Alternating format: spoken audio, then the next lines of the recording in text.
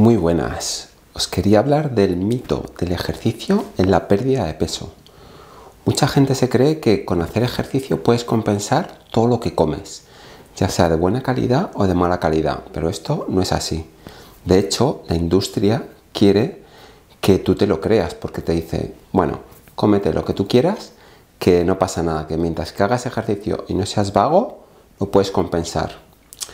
Pues justamente este fin de semana estuve en un torneo federado de badminton, es decir, no un torneo donde van a ir a hacer deporte de manera amateur, eh, sino gente que se está preparando, que entrena, que se saca una, una inscripción federativa y que va a un campeonato a competir contra los mejores. Y en ese torneo, en este caso era de senior, de gente de más de 35 años, pero aún así gente que entrenaba y gente que llevaba muchos años practicando este deporte, me sorprendió que había mucha gente, sobre todo hombres, eh, con sobrepeso e incluso diría que obesidad, estaban ahí, ahí. Y, ¿no ves? Era un, deporte muy intenso de gente que hacía deporte de manera regular y aún así veías unas barrigas que me quedé impresionado. Así que los deportistas no están libres del sobrepeso ni la obesidad, ¿vale? Otra cosa es que estén saludables o no estén saludables. Pero bueno, en general ya sabes que el sobrepeso y la obesidad no es saludable. Y hay un documental que se llama Super Train Me, que es parecido al de Super Size Me americano. Y en ese documental sí que se ve que hay una persona que comiendo comida basura, desayuno, comida y cena, pero haciendo un montón de ejercicio con entrenadores todos los días, al final Incluso mejoraba su estado físico, sus análisis de sangre. Y diréis, joder, pero si entonces el ejercicio es mágico. Pues sí, tiene algo de mágico, pero seguramente esa persona estaba en déficit calórico.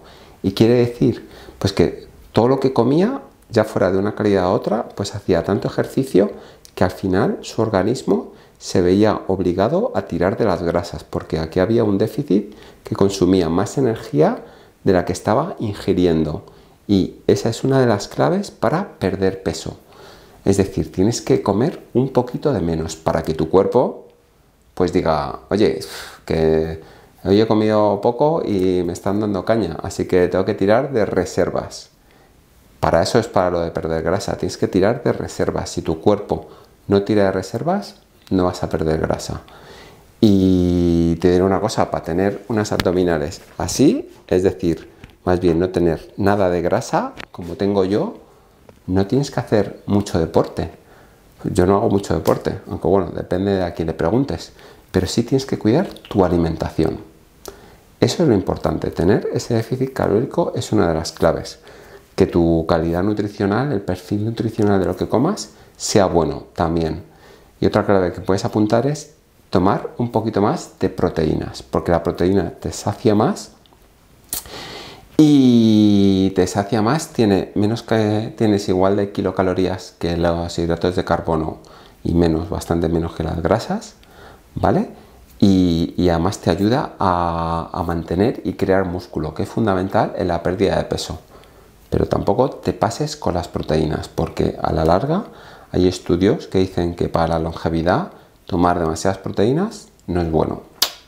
Así que, pero bueno, en las primeras etapas de pérdida de peso sí que lo puedes incluir. Y hasta aquí quería llegar. El mito del ejercicio en la pérdida de peso ayuda, claro que ayuda, sobre todo a mantenerlo. Pero cuida tu alimentación. Espero que te haya gustado este vídeo y nos vemos en los siguientes. Si tienes alguna duda, ya sabes, pregúntame aquí abajo. Saludo y a cuidarse.